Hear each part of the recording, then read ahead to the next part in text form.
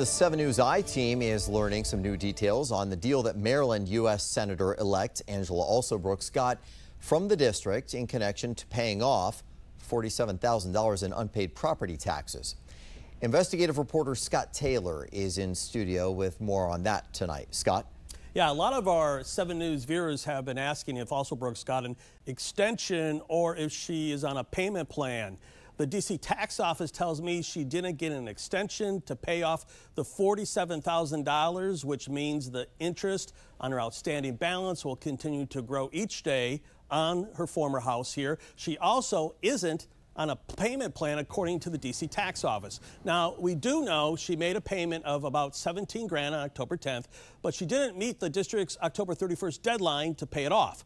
That now leaves her with an outstanding balance of more than 30 grand. Her new deadline is the end of the month. The break she got from the district, we remember it, waiving a 10% penalty, and 25% of her total interest will never be added back on her bill. She can make payments forever. The deadline will just continue to move and the interest will continue to pile up on that bill. By the way, she will soon be taking a pay cut.